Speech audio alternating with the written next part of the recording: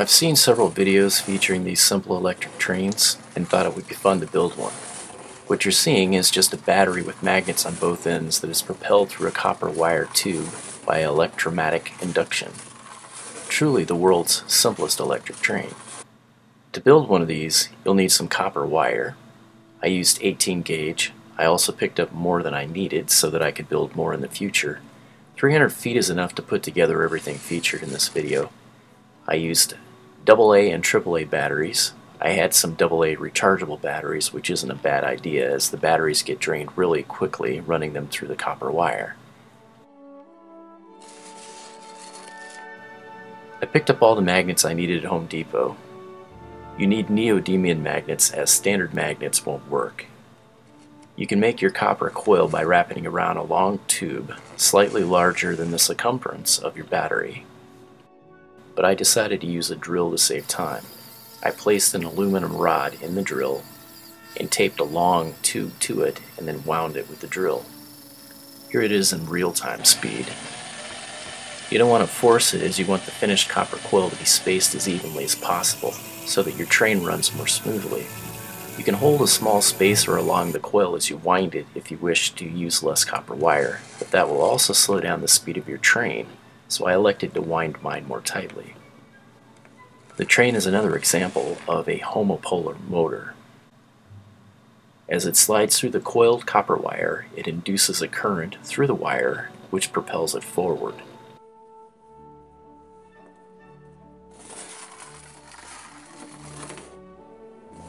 The direction of movement is determined by the negative positive flow of electrons in the battery. So to change the direction of movement, simply turn the battery around. This simple chart demonstrates how these three basic things are oriented to make this work. The magnets on both ends of the batteries creates a complete circuit when in contact with the copper wire. Electrons then flow from one side of the battery through the copper wire and into the other side of the battery.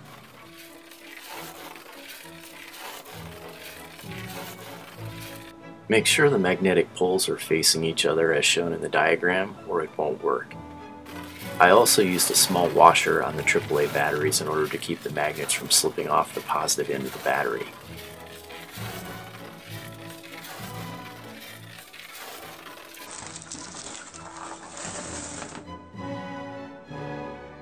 If the carriage is pushed back out by the electrical charge in the coil, simply turn the battery around and it will be drawn into the coil.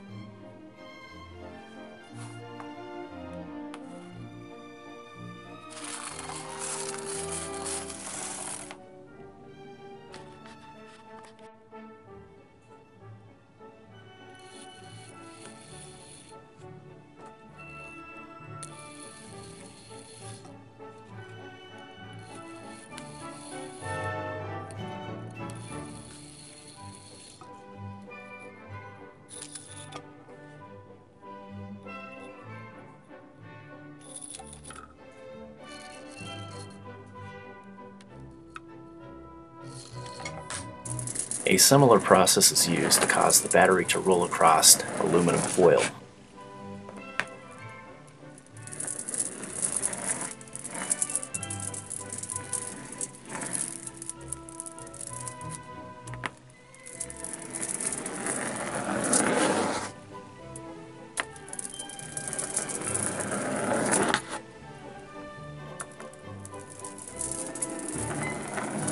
By using a larger disk magnet on one end, the magnet will roll in a circle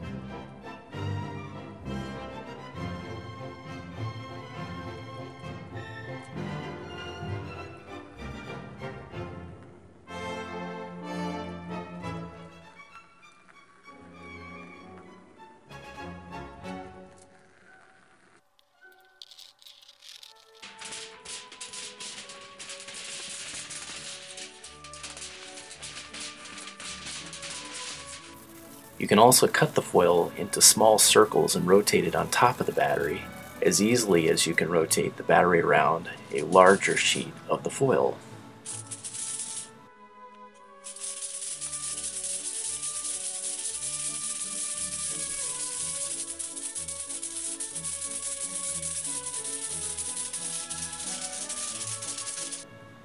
As a side note, if you do this at home, make sure to pick up really thin foil.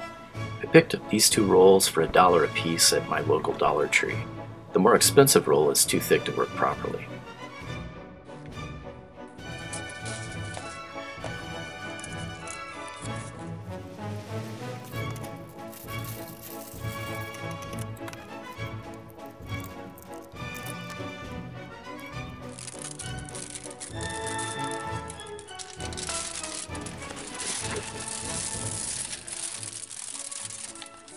If both magnets on the battery are not touching the same sheet of foil, the battery will not move until you connect both sheets with an electrical wire and complete the circuit.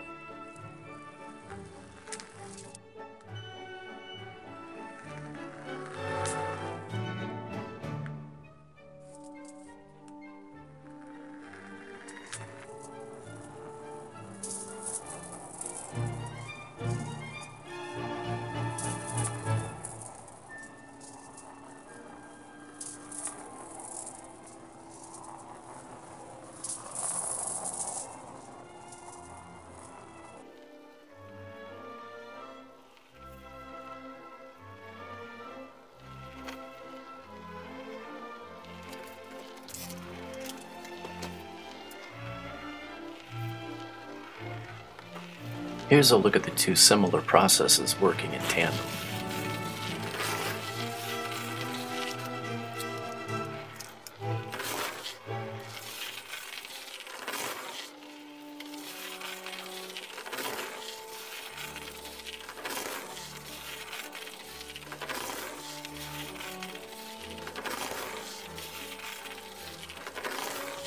The train uses the magnetic field of a current to propel a magnetic carriage through copper wire. In this simple electric motor, the magnetic field of a magnet is used to push electrons to move the magnetic wire.